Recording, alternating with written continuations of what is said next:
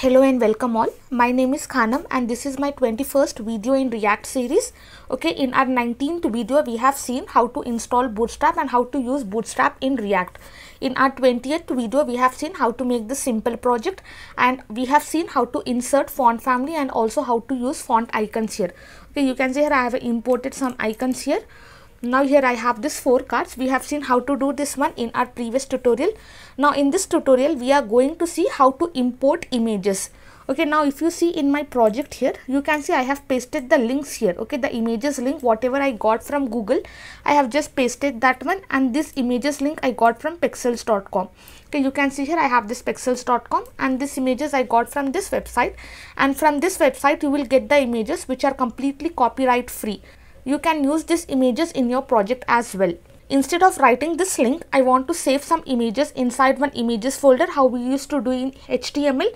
Okay, and from there I want to import this one. Okay, now if you see here inside my SRC folder, I have just created images folder and inside this I have this four images, image 1, image 2, image 3 and image 4. Now inside SRC if you are creating images folder, you have to import images.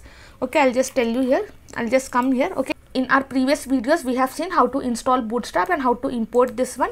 Now here i'll just write import. Okay you can give any name here while importing. I'll just give here images one from and you have to give the path name. As soon as you give dot and forward slash you will be getting this images folder because we are inside this src folder. And inside src folder i have this app.js inside this src folder itself i'm having this images. So i'm just writing dot forward slash images now inside images i just want image1.jpeg okay you have to write this extension as well. I'll just save this. Now here i'll just come below. And below this container div container i'll be creating image. And instead of this src now i will be using like this. I'll be writing this one whatever i have imported that particular name i'll be writing here. I'll save this. This image whatever you are writing here that should match with this now you can see here i got this image here. Okay this is how we are going to import images and we will be using this images. Now in the same way if i just do this and instead of one i'll just change it to here i'll be giving three. Here i'll be giving four. And this images should be matching with this images okay? Whatever you are importing you should be having the same extension here. I'll be giving two three and four. I'll save this. Now i'll just come below. And below this image i'll be creating that one and instead of this one I'll just change it to 2, 3 and 4. I'll save this. Now you can see here I'll be having this images 1, 2, 3 and 4. Okay, by default our images are inline elements. So it will take only the width of the image. Okay, it is not going to take complete 100% of the width. It will take only the size width of the image. Okay, this is how we are going to import images. If we are creating file inside src folder, then we have to import these images. Now what if we have hundreds of images and we have to use in our website? Then it's not possible to import each of the images like this. Okay, it's not at all possible to import like this. So what we are going to do is instead of creating folder inside src, we are going to create folder inside public folder. I'll just come here, I'll just move into public. You can see here, are you sure you want to move images into public? Yes, I am just moving that one. Okay now if i just refresh this you can see i don't have images now and also i'm getting this error. Okay no such file or directory. Now i'm going to remove this entire thing. Now i don't have to import. When i create folder inside public folder images folder then i don't have to import each image okay directly how we used to do in html we just have to write the images path here. I'll just remove this. And instead of this i'll be writing here slash. I'll be writing this images folder name. And inside this i have this image 1.jpeg i'll just comment these three things now. I'll save this now you can see here i have this output i have this one image. Directly you can use like this okay how we were using in html when we want to use images we used to write like this. Okay instead of writing this entire link if you don't want to use these links you can just create separate folder inside public folder and inside this public folder you have to create this images folder and you just paste your images whatever you want to use. And then you just have to write like this.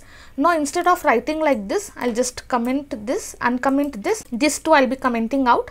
Now here first i wrote here dot forward slash this path. Now if i write here double dot i'll be writing this images and i'll just write here image image3 dot jpeg i'll save this now you can see here i'm getting this output okay? Either you can use dot slash or you can use double dot slash. Okay now what if if i want to use okay only the images folder name should be matching. Okay now whatever you are writing here that doesn't match but only this images folder name should be matching. Now instead of this i'll just remove this. Now here i'll be writing this dot uh, double dot slash slash slash slash. I'll be writing this images. And here i'll just write image 4 dot jpeg i'll save this. Now you can see here I'll be getting the output. Okay only this images folder should be matching and whatever images you are having inside that folder that should be matching. Here you can either have dot forward slash double dot forward slash and also you can have slash slash slash. After slash if I give here dot dot it will not work. I'll just save this. Now you can see here I have only this two images. Okay this image is not going to display I'll just remove this dot dot. Now instead of this uh, I'll just give here dot dot dot dot. I'll save this. Now you can see here I'm not getting that image which means that either I can use dot slash double dot slash and double dot slash slash and also dot slash slash. Okay either way you can use whichever you are comfortable you can use this one but I always use this first one or second one. I will never use this third one in any of the project. I will be using either first or second. Based on your requirement and based on which you feel comfortable and which you feel easy you can use okay. Either you can import images but import I am not going to suggest to anybody because if we have 20 images we have to import 20 we have to import 20 images okay so i'll just create folder inside my public folder and from here i'm just going to write the path I'll just write the images folder name. This name whatever I am having here that should match with my images folder here. Okay, whatever name you give here that should be matching with this. Now if I just change my images folder name, I'll give my images um, display. I'll just give here images display. Now if I just come to my project and now if I just refresh this one, you can see I'm not having this images. Now instead of this images, I'll just give here images display. I'll save this now you can see here I'll be having this first image okay? This image name should be matching with my folder name and inside this whatever images you are having that should match with that image name and also you have to write the extension.